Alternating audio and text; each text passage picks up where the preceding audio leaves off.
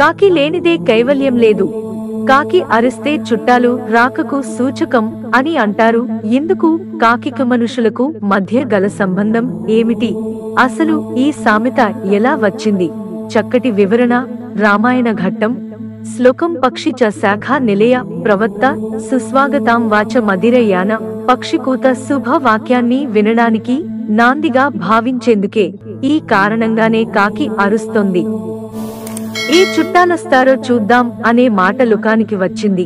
దీనికి ఒక మహోత్తరమైన పురాణ గాథతో సామెత వచ్చినది అని తెలుస్తుంది.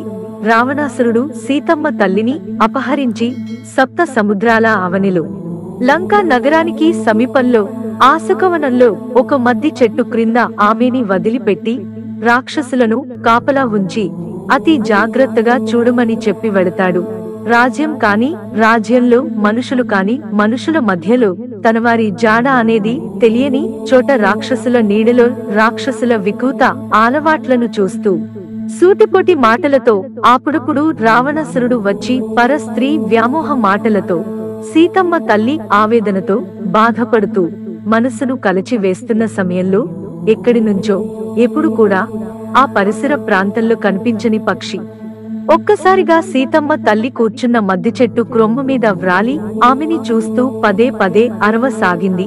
సీతమ్మ తల్లి తదేకంగా ఆ కాకి వైపు చూస్తూ ఏ రాక్షస మాయతో ప్రమాద సూచకమా? అని అనుకుంటున్న తరుణంలో కొతిపిల్ల రూపంలో ఉన్న హనుమ సీతమ్మ ముంగటికి వచ్చి రెండు చేతులతో నమస్కరించి నేను రామదూతని మీ జాడ తెలుసుకు రమ్మని సుగ్రీవ రామ లక్ష్మణులు పంపగా ఏడు యోజనముల సముద్రాలని దాటి లంకా నగరమంతా గాలించుచు నార చీరలో ఉన్న మిమ్మల్ని చూసి నా సీతమ్మ తల్లినే అని తన నిజరూపాన్ని చూపి రాముడు ఇచ్చిన ఉంగరియాన్ని చూపగా మహానందంతో ఆ మహాతల్లి సంతోషం వ్యక్తపరుస్తున్న తరుణంలో ఆ కాకి అంతవరకు ఆ క్రొమ్ము మీదనే ఉండి కావ్ కావ్ కావ్ అని అరుస్తూ సీతమ్మ ముంగట వాలగా నీ అరుపుతో నాకు శుభ సూచకం జరిగింది.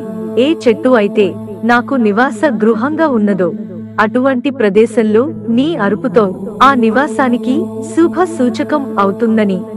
నీ వంశం ఉన్నంత వరకు అది లోకానికి శుభదాయకం అని వరం ఇచ్చింది. ఈ సామెత ఆలా రామాయణం కాలం నుండి మన వరకు కూడా కాకి అరుపు శుభ సూచకంగా భావిస్తున్నాం. మిత్రులారా వీడియోను లైక్ చేయండి ఛానల్ సబ్స్క్రైబ్ చేసుకోవడం మర్చిపోకండి. ధన్యవాదాలు.